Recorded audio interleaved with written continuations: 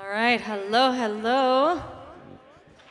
Can everybody who is going to be in this session find a spot here in the front, if you would?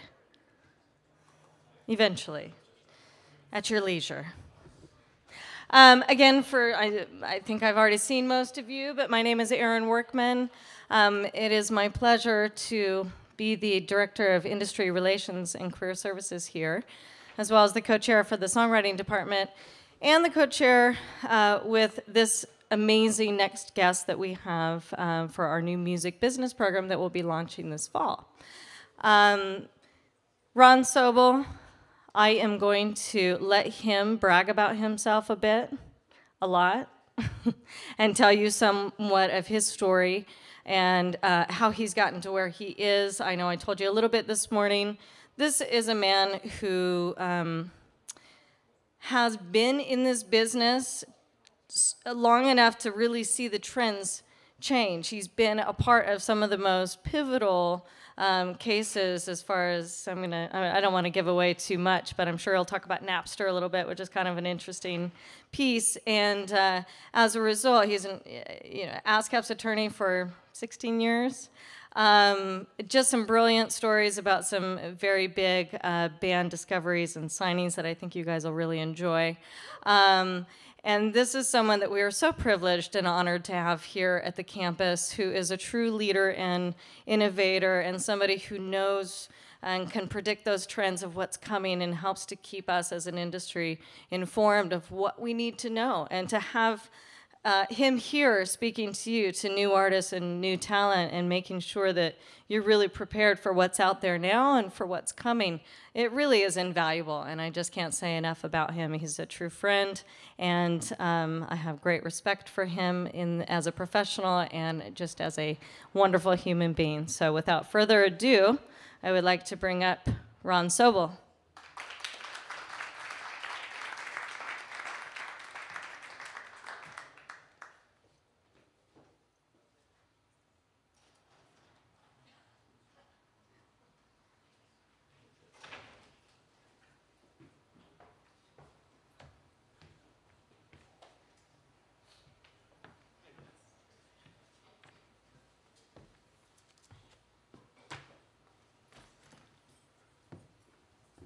Hi, good morning, early morning to everybody. Erin, thank you.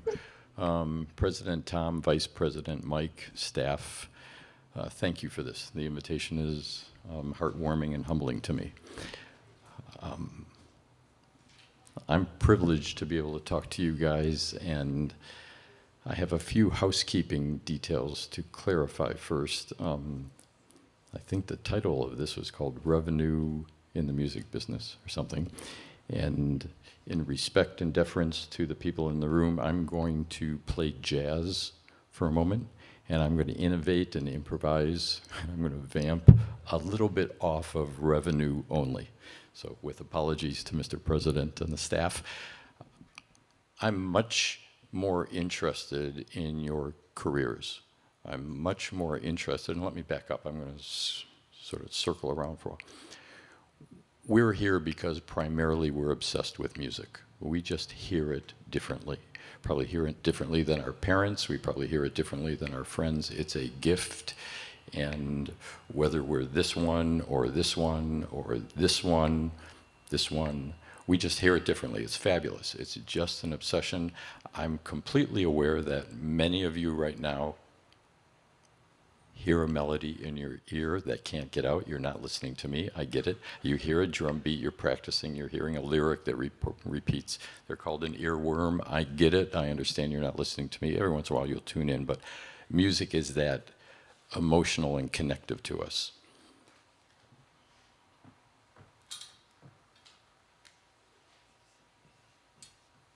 Is that dark enough? Can we see?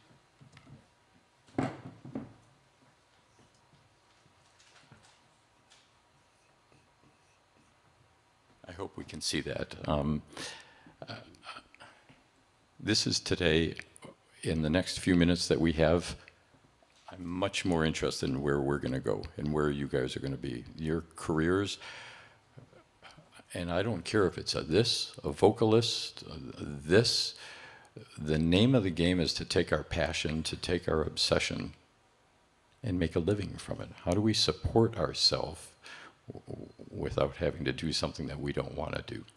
Um, can people see that? Is that showing up? Their boxes. Um, where's Erin? Erin, are you around here? Do you really want me to talk a little bit about my background? All right.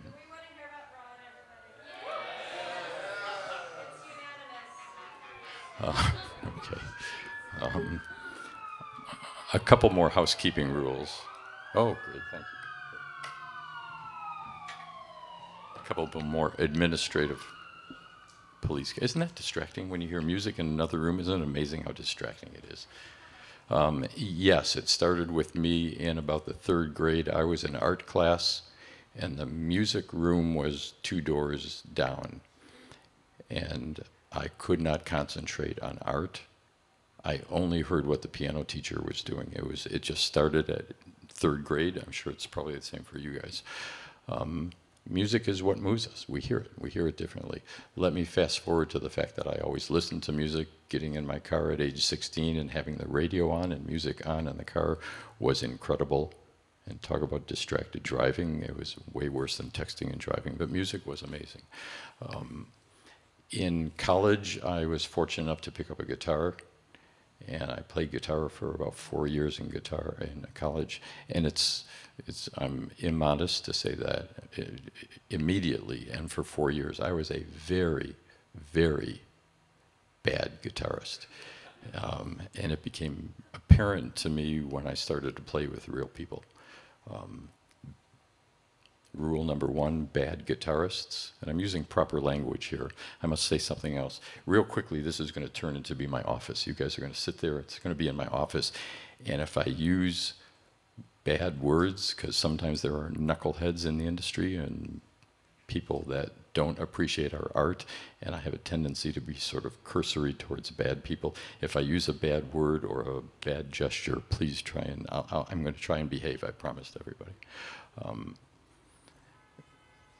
it, it became apparent to me that I heard music. I knew I was going to be in a band. It was destined that I was going to be in a band from college, and it was clear that I was awful. Um, I could hear it, I couldn't play it. And rule number one awful guitar players wind up in law school. It's just where we go. It's what it's how we have to get next to our gifted friends. Um, law school. Uh, law school was fascinating to me, and all I did was hang with my music friends. And my music friends, I am in awe of creators.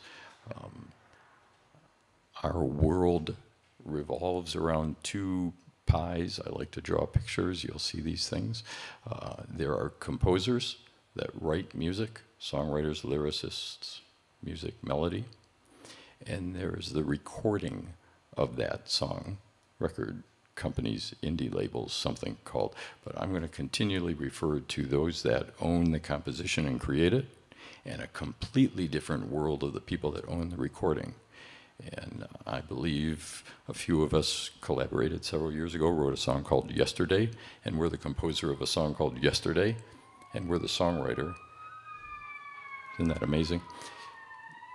400 people can own a recording of Yesterday but the composers get paid every time it's played. The composers get every paid every time it's sold. So just to understand every time I'm going to talk about music and revenues and opportunities for us in our career, there's a composer and a publisher. That's you, you combined, and there's going to be a recording. And I'm going to talk about these two streams of income for us. Oh, you want to hear a little bit about me? I really hate doing this part. Okay. Um, after I graduated law school, I lived with musicians for a long time. I represented musicians. It was all I could do is be next to my music makers. It didn't really matter what I did. And that'll be a key phrase because I literally swept floors in recording studios as an attorney to be next to music. I did not want to not be in music. So I didn't care what I did. It didn't matter. I already wasn't this guy. I just wanted to be next to it. Um, and quite frankly, doing this and teaching is as rewarding to me now. And that's why we have fabulous teachers here at the school. Um, I got hired as an attorney. I fast forward, I got hired as an attorney at ASCAP in the early 1800s. Um, and my job was as director of business affairs, but also director of creative affairs, was to attract and sign people to ASCAP. There was BMI and SESAC. You all have to join one of them if you want to get paid writer royalties. I was working at ASCAP in creative and business affairs. Someone in an office down the hall played a CD for me, and the voice spoke to me. The voice spoke to me. We're in 1988. Sorry, it's just how old we are.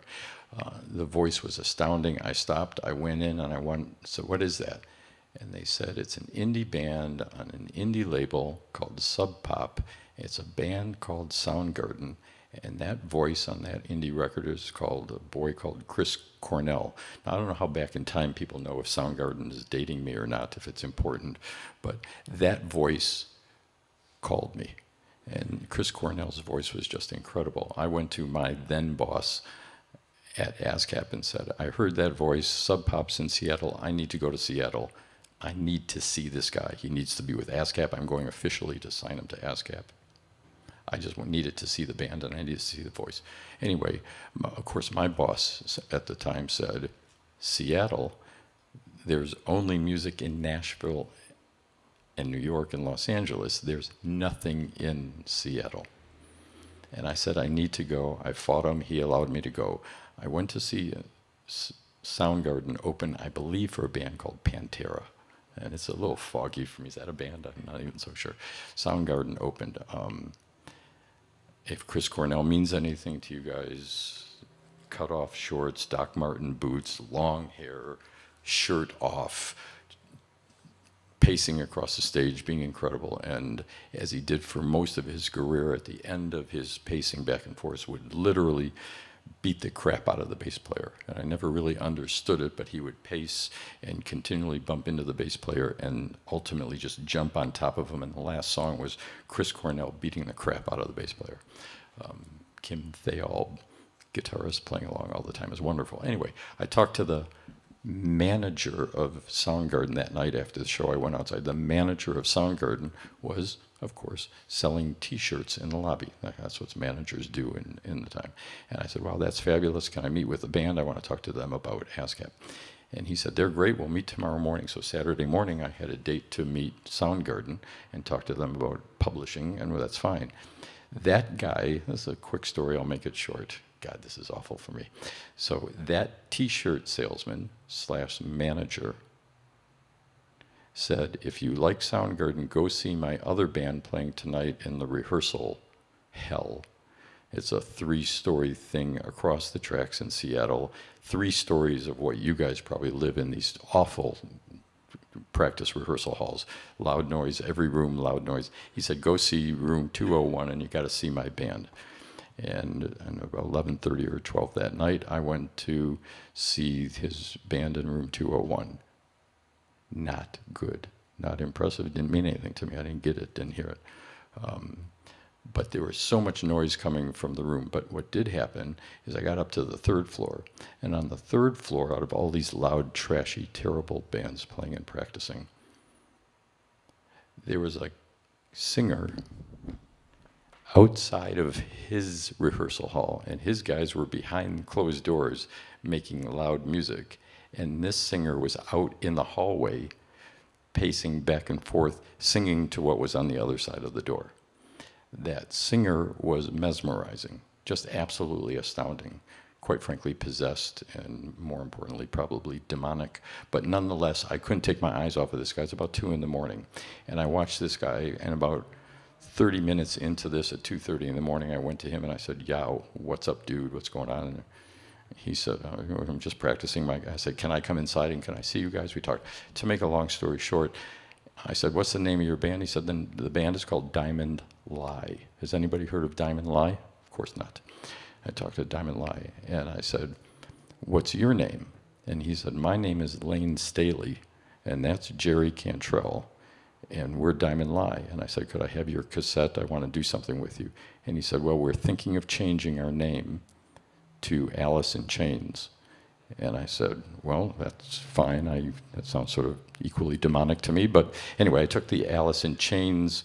He, he mailed me a cassette that didn't say Diamond Lie, it said Alice in Chains, and we were happy to take it to Columbia Records. They were phenomenal. Um, Alice in Chains. Does that mean anything to anybody? I can't tell how archaic this is being. Is that are we in dinosaur land or not? Anyway, um, they were phenomenal. It was incredible. Is that a combination of just luck, being at the right time? I think having some ears. I pride myself on my ears. I pride myself on being a terrible guitarist. But nonetheless, I did hear it. We were able to help that. Things like that happen. If bands, artists, are magnetic, magnetic, people will come to you. If you are attractive, not attractive in a face, if you are attractive because people are compelled and drawn to your music, that wins. That's what people want. I got, I got myself into a, just a shitload of, sorry, a real lot of trouble. Forgive me, I knew that was going to happen. Um, I got myself into a terrible amount of trouble because I went to one of these big famous um, songwriter expos about a year ago, and the panel before me was called Marketing and Sales. And the four people up there were all marketing guys, and the key word that came out of that was, you got to market, you got to sell, you got to market, you got to sell. And I was so offended. It was just so offensive to me that I had to get on on the panel afterwards. It was about music licensing and film and TV, and we'll get to that. Um, but I had to get up there and say, you know, forgive me, marketing sales might mean something, but if music is attractive, people will find out about it. More and more so in the environment that you guys live in. Um, virality that's a word, and we're going to make up a lot of words. People will find it. People will find it. I'm going to tell you some ways that will, people will find it quicker and faster. But I just think if it's authentic, if it's compelling, I've written a book. Did I bring a copy of my book? I wrote a book about music publishing. There's a chapter called On a Scale from 1 to 10. And quite frankly, and let me be honest with you, um, songwriting, the gift, the art, the talent, the skill of songwriting, on a scale from 1 to 10, it's got to be a 10. Um, most of the tapes that I've received in 40 years um, have been a 2. And I always receive a 2 and I say, good work, emerging writer, that's really great. Let me hear your next work. And the next one hopefully is a 4 or a 6. And I say, great work, songwriter, let me hear your next tape. And hopefully a 6 becomes an 8. But ultimately, what we need to understand is do I want to spend time on my career with an eight. More importantly, does the world need another eight? And we just set a bar now for ourselves. And for me, I make a sports analogy. I don't know if it works for you. Try and figure something that works for you. For me, it was Kobe Bryant, this obsessive, maniacal, astounding, committed guy before he got injured.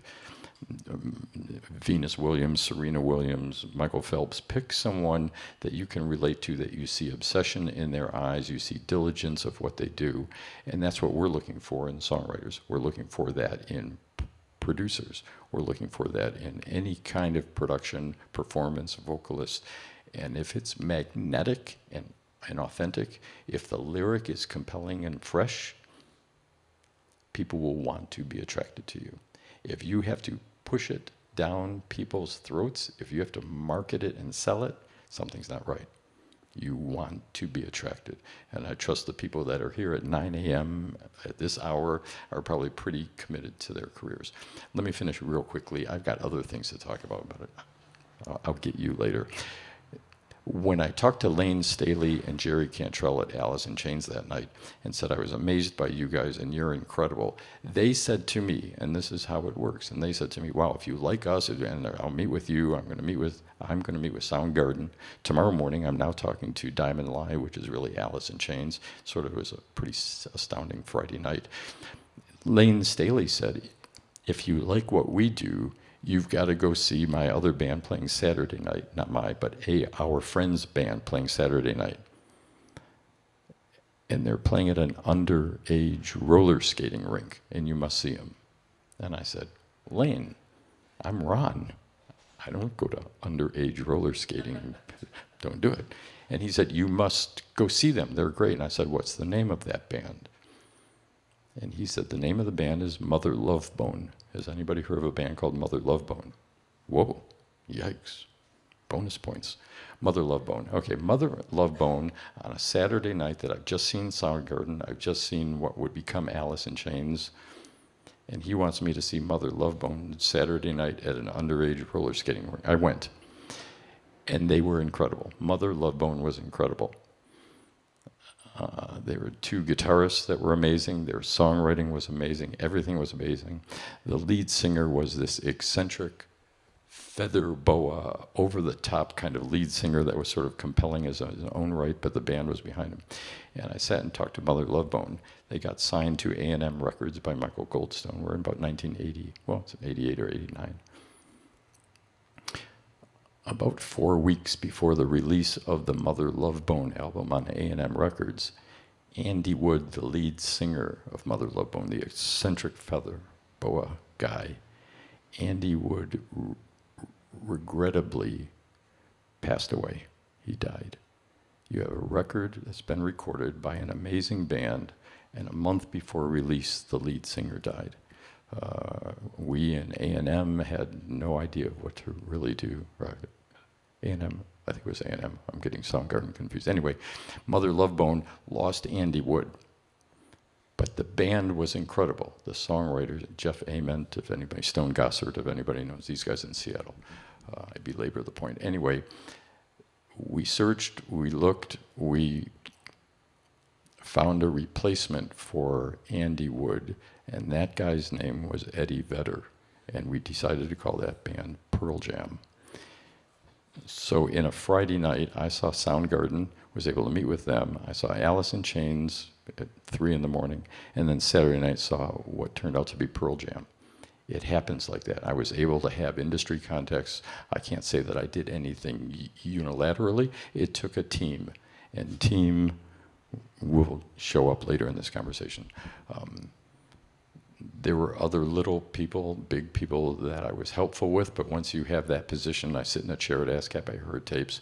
A friend called me and said, I've got a little guitar player, would you like to listen to his cassette tape? My God, it could have been an eight track, but it was a cassette tape.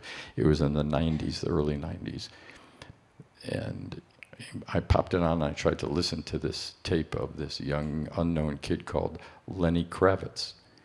And I had to call the manager back and say, something's here, this is good. Lenny Kravitz. Um, those are the things that happen, and that's what has to happen in this room. That's what has to happen in this school. Um, I've been fortunate to deal with those. If we hear it, if it's magnetic, we're attracted to it, somebody's going to hear it. Somebody much more powerful and connected than me, someone's going to tell something. 1989, when we did this, 89, there was no viral, there was no Twitter, there was no Facebook, there was no way to get the word out. We lived in a box, man in a box, Alice in Chains.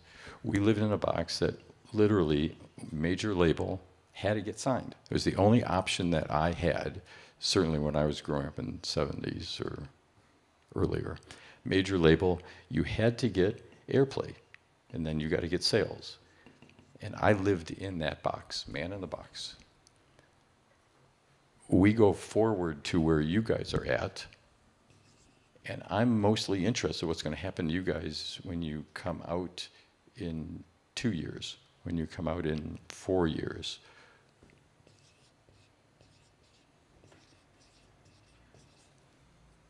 So what I'm going to try to do today, do we have a few minutes left? I really hated talking about myself. Um, this is about your career. And I'm going to try and share with you some ideas. The happiest part of my career is that A, I was obsessed with music, B, I needed to be next to people, and C, I didn't work in a record company. Thank goodness. Um, now, let me preface the rest of my comments by one more housekeeping rule.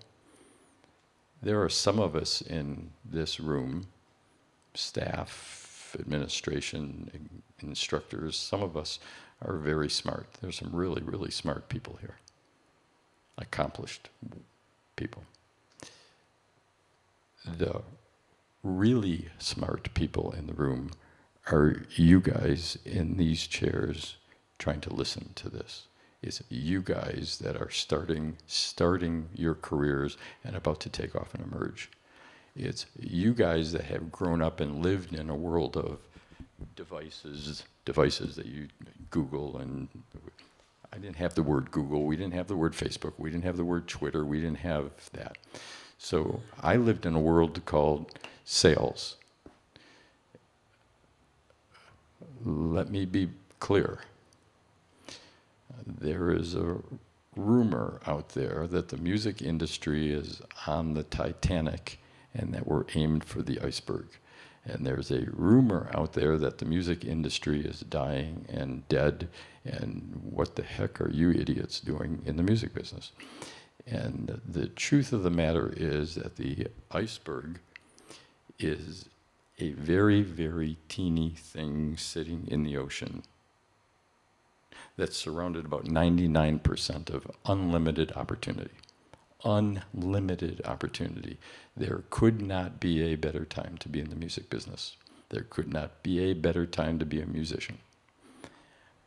I was born and raised in a box. I could, if I, if my band did not get signed to a major label, 20 years ago, 30 years ago, my career was over. And how would I ever get to the major label? And that was the attention. We now have a range of different opportunities. Um, let me sort of lay this out. I'm sorry to be historical. If I was, if I had time, that's a critical date for you. If I had a lot of time, we can do this tomorrow morning. We really want to talk about that date. When I see you guys Tuesday morning, because this is going to continue, we want to talk about that date. Probably the most important date in your futures. So I'm going to go this way with you and try and talk about why that was critical to you. I had to have sales in the late 80s, maybe early 90s, something happened, and watch this progression and stick with me. Do I still have a few more minutes? Okay. In the 80s or 90s, there was a television show that some of you may have heard of in the history books called Miami Vice. Has anybody heard of an old TV show? And there might be a new one, but there's an old one Crockett, Tubbs, Miami Cops and Robbers. Michael Mann was the producer.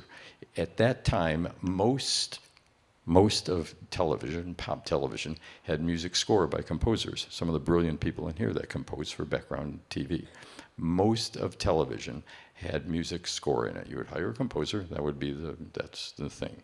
For some shocking reason that I need to instill in you guys, and we just have to break down barriers and allow you guys to do this. For some reason, Michael Mann saw a scene in Miami Vice between Crockett and Tubbs and somehow he heard the lyrics of a song, the visceral emotion of a song that captured the scene better than his composer could capture the scene. And Michael Mann shockingly went to a band and said, May I license your song for my show? Virtually unheard of.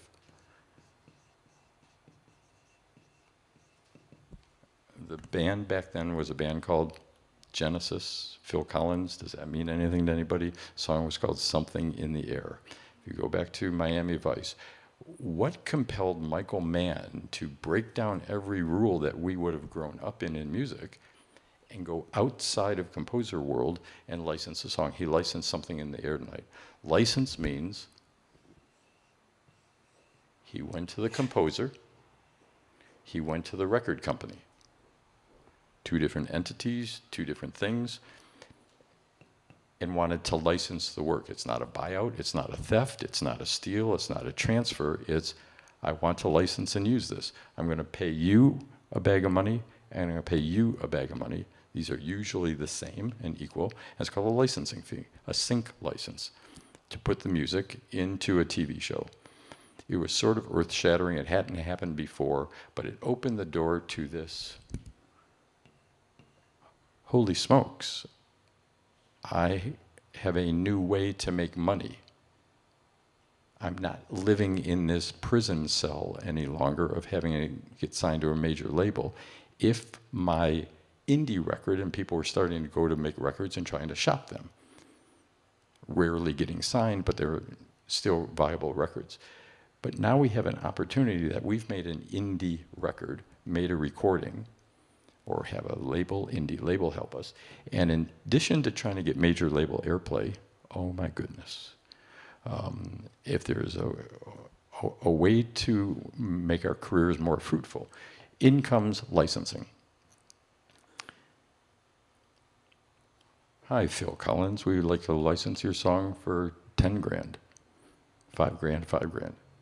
10 grand, 10, doesn't matter. Name a price, negotiate a deal, licensing. Well, that in the 90s, whenever that happened, opened this unlimited door to licensing opportunities.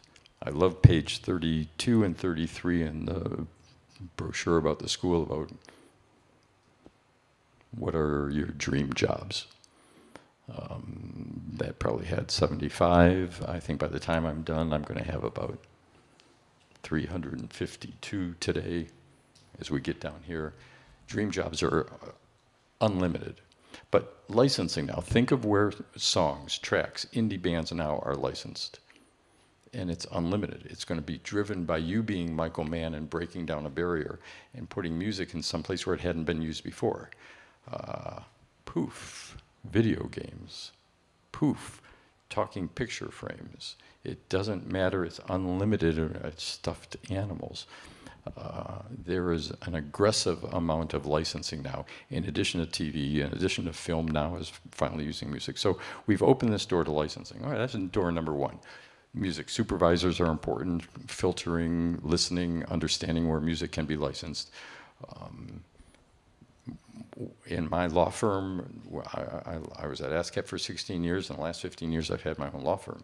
My law firm practices law, represents artists, producers, studios, but we also have a division of artist development and pitching songs to film and TV. It's a great career, pitching songs, trying to get the attention of music supervisors and Grey's Anatomy and Walking Dead people and Breaking Bad. How do you want songs? And we've been fortunate that we've placed over 300 songs of indie artists, unknown artists.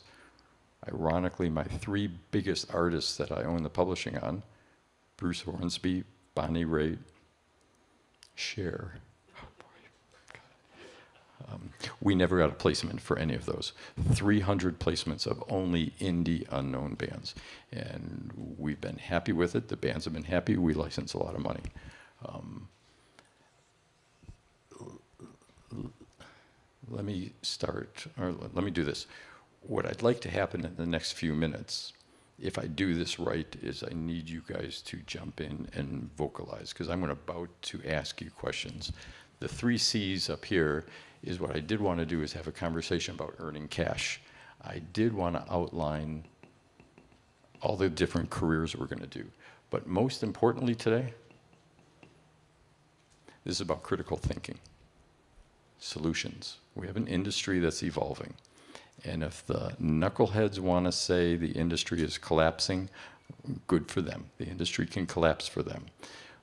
We're going to employ critical thinking, solutionism, and find answers to questions. Let me do one small example of how we can make money and how you can think about making money we represented a band. This is an absolute true story. It was in my office. It happened a few years ago. We represented an indie band from the middle of nowhere, uh, Nebraska, perhaps. Lovely state. They put out an indie rock CD. It was fabulous. It was really amazing. They asked us if we would license their music. We licensed it. We got a fair amount of a lot of placements. Grey's Anatomy 90210, Beverly Hills. Uh, $2,000, $1,500, $3,000, 2,000, a lot of licenses. This one production studio through a network loved the band, licensed about four or five of their tracks. Called me and reminiscent of the Michael Mann Phil Collins episode, the production company for this one TV show said, We like this track. Track six. It's amazing. It speaks to the footage. It speaks to the scene. We want to license. Ron, let's not screw around. Three grand, four grand, seven grand. Woo, seven grand. How many people here would take seven grand for a license? It's a pretty cool thing. We're not giving anything away. We're licensing it. 3,500 for you guys who own your own indie record, 3,500 for you guys, the composers who wrote it. Okay, seven grand. For the first time in my life, and let's talk about mistakes, because we should talk about big bad mistakes. Ron really screwed up because Ron was friends with the production company, and Ron said something like, Can you pay us more than seven grand? That's sort of ridiculous. Um, I don't like playing those kind of pig games, but I did. They came back and said, Well, we'll pay eight. We love the track. The track has to be in. We love it. It was great. To which Ron said, Would you pay us 10? And they said, Sure, 10. Okay, Ron, you're sort of a jerk, but we'll pay you 10. Um, shockingly, Ron said, Will you pay us 12? Now, we're talking about an indie band from Nebraska that gets $3,000 licenses. They've had a handful of them why Ron would say 12. I knew the guys, it was okay, I wasn't going to get shot, but I went to 12. The production company said, hold on, ooh, we'll think about that. They actually said we would pay you 12. I actually said, could you pay us more than 12 is what the true story is. And they said, we'll call you back the next day. They called us back the next day and said, you know, Ron, we need the track. We love the track. We love the band. We sort of used to like you. You used to earning turned into be sort of a jerk, but um, we love the band. How about this? The $12,000 offer is off the table. We, we revoke it. That's not there. Instead of the $12,000 offer, we want to use the track. We will give you a visual credit at the end of the episode. 24 million viewers. We'll give you a visual credit, www, band from Nebraska, blue skies, have a good day, www. And for eight seconds, your scrolling title will be the band and the title at the end of the show. You don't get $12,000, we'll give you the card. Okay, poof, you're the band. Okay, help me guys, we're in a band, we're in the band. There's five people in our band in the real room. Now we're in band. How many of us in our band want to take the 12 grand? Wait, how many? They need to see you on the camera. Okay. How many people want to take the visual credit card? Okay. True story. A fight broke out in my office. A physical fight broke out because half of the band needed to earn their wage. Half of the band had support other kinds of family support, other support, um, whatever they're doing on the side. But they couldn't resolve it. They couldn't resolve it. It was a really ugly fist fight. 12 grand credit card. We fought about it. I called the studio the next day with a non answer. I didn't know where that was going to go you guys are somewhat divided, almost 50 50 on this. And I went to the studio the next day and said, Hi, I'm here to talk about my $14,000 placement. And they said, The credit card offer that we gave you yesterday is revoked. You guys are stuck with the $12,000. A different band accepted the credit card first.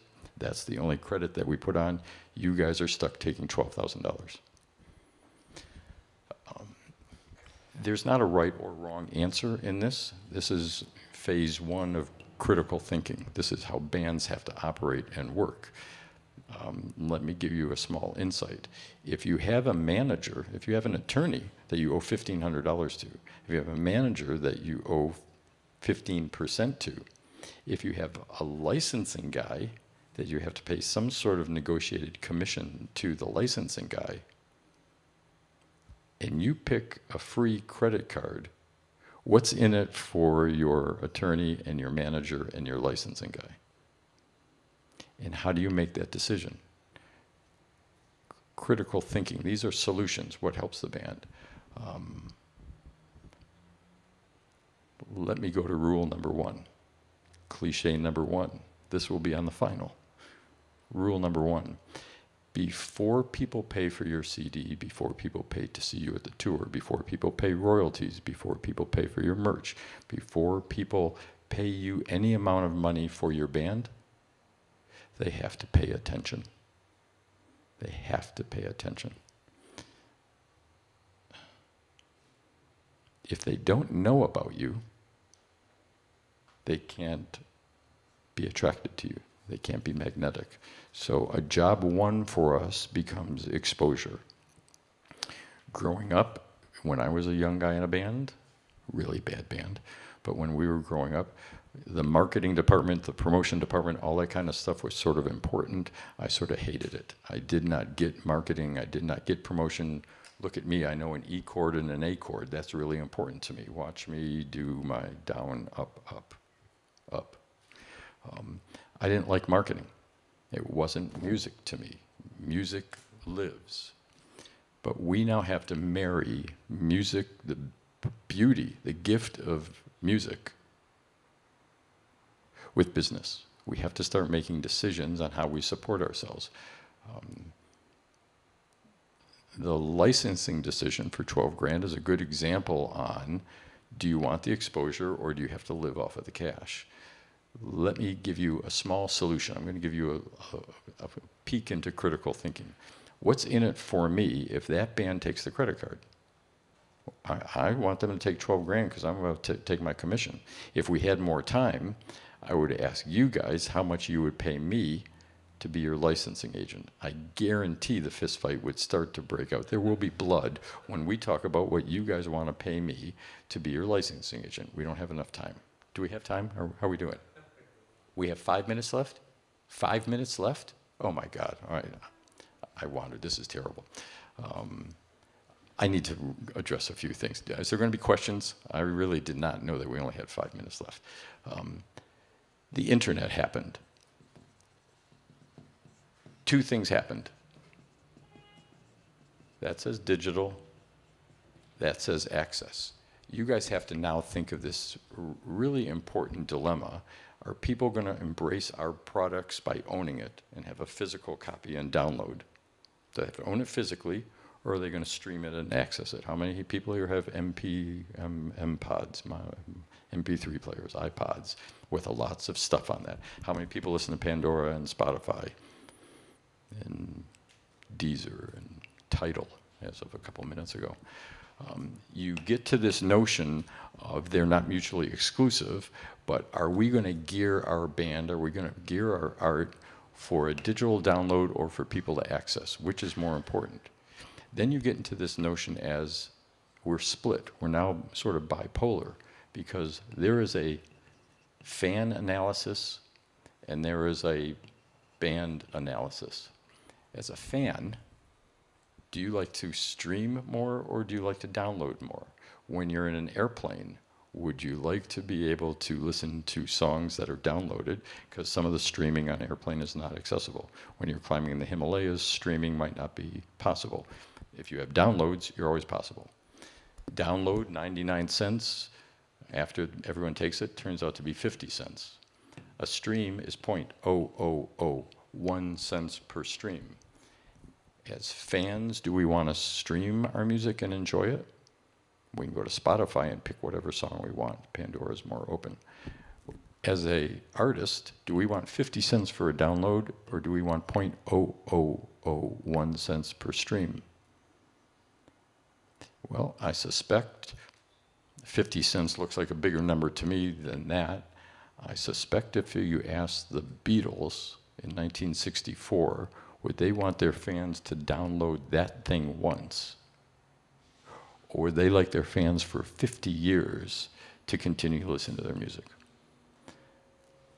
Not mutually exclusive, but we have to be really mindful of what's going on. Let me turn the tables as a fan. We're now artists. Let me turn the table from artists. How many here? I'm Tim Cook. I own Apple. I'm looking for people to work at iTunes. I can pay 75 grand a year. Who wants to come work for me at iTunes? 75 grand a year to start. Does anybody want to work? iTunes? Oh, 75 grand. A few people. Okay. Whew. I'm the CEO of Spotify. I'd like people to come work for me at Spotify for 75 grand a year. How many people would like to come work for me at Spotify for 75 grand a year? Okay, as a musician, then you so there's there's choices as a fan, there's choices as an operative, there's choices as a consumer, there's choices as a creator. Which is more important? Well, it gets complicated. You have to make an analysis. It's not exclusive, and then you get to this next dilemma about live versus streaming. Boy, are we really almost out of time? Really? I'll do this really quickly. Live versus streaming. I work for a streaming company. I, one of my clients is a streaming company. He went to Coachella, Lollapalooza, went to a lot of the festivals and said, We want to stream your festival. Okay, you're the band, you're playing at Lollapalooza. You are Adele, Kings of Leon, Sia, Imagine Dragons, Rolling Stones. Okay, you're playing Lollapalooza. I come to Lollapalooza paying you a couple hundred thousand dollars to perform on stage. Me and my internet streaming company comes to you and says, we want to stream you globally. How many people, and I'll pay you some amount of money. We'll talk about a new bag of money to stream you. How many people want to be streamed globally to Morocco and Spain and Asia while you're playing Lollapalooza? How many people do not want to be streamed when they're on stage? Okay, that's pretty clear. The answer is you don't want to be streamed. Okay. The answer is we made these offers to a, to a large festival that we wanted to stream them. And the answer was 50% of the bands said, lovely, that's great, we love it. 50% of the band said, no thank you, we don't want to be streamed. Um, they didn't say it quite that politely. 50% of the bands saw being streamed was not only an additional paycheck, they saw it as global promotion. They saw it as a great way to get attention. 50% of the bands thought it would cannibalize the rest of their tour. They did not want people to see them. You get to make a decision, critical thinking. This is where you guys are facing this in terms of streaming. Let me ask one more example. I'm sorry, this has gone on way too long. I have way too many questions. I'll wrap it on this. Name a famous band that we would like to see.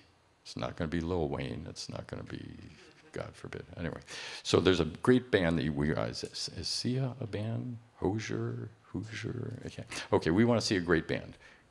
Adele, U2, Coldplay, at Staples Center, and we have an option of U2 people buying tickets and each paying $125 to go and drive down to Staples and see the show and pay for parking and buy a $4 Coke and sit in probably row 120 and watch Adele in seat 120 and be in the moment. Probably watching most of the show on the widescreen CD um, TVs on the side of the set. My streaming company is going to stream that same concert, except we're going to have six cameras. It's going to aim one at the face, one at the guitar, one at the keyboards, one at the thing. My six cameras will have all these different angles. My six cameras will have backstage interviews, and we're going to talk to Kings of Adele backstage. We're going to have all these interviews and interactive interviews. You get to stay home at your home on your couch, put it up on your widescreen, surround sound, watch the concert any way you want, plus you have hands-on interviews. As a fan, how many people want to drive to Staples Center and pay the money? As a fan, how many people want to sit on their couch and have the access of this? Oh. Okay. As a band, do you say yes to the streaming company to allow you to be streamed? The answer is you have options. The answer is you can geo-fence these things. You can say it can't be seen within 100 miles. You can't, but you're going to get to this notion of about, I'm saying that you have to pay attention. You get to this question, is attention cannibalizing other tours, other dates? Is it promoting other tours, other fistfights? Bands fight over this. It, agencies fight over this.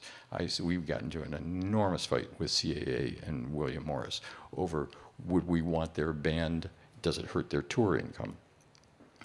Let me close. Is it closing time? Did this really go? I use this way up. Let me close by this. This is a fascinating moment. I'm just so thrilled at what you guys can do. Uh, there's a bunch more C words. Probably the most important one is CX. That'll be on the final. It's about the consumer experience everything that we're going to talk about of you moving forward is now going to be geared to the consumer. The consumer can do it on the device, consumer can put it on a big device, consumer can Shazam your song. We have to be mindful of our great art. All we're really worried about is singing. We're really worried about getting on tape. We want the producer to get it right, the drum sound. Look at the cymbals. How much time are we going to spend on getting those cymbal sounds right? Music is fabulous. How are we promoting it? And I think the key words for us is just a now barrage of more C letters. I think we have to collaborate. I think we have to curate. I think we have to cultivate. Probably the most important word for me today is probably teamwork, and that you who are the artful need to associate with somebody who knows social media. I think someone who understands how to penetrate digital opportunities, who knows how to talk to Twitter and Facebook and Instagram and get the word out. If your music is magnetic and you have a team member that knows how to expose it, I think you have a tremendous opportunity for success. There are unlimited careers. It may not be that you wind up as the vocalist and the guitarist, but you'll be next to people. You might even be a teacher, which we love. Um, but I just have to end on saying it could not be a better time for you. I am so thrilled. I am so impressed by what the college is trying to offer to you. The mentality of the college it starts from the administration down. There are some fabulous people here, and the opportunities couldn't be better. I wish you all great success. Have a great day. Thank you very much.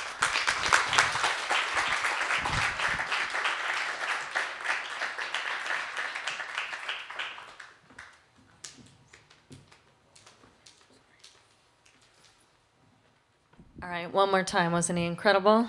Really great. Thank you, Ron.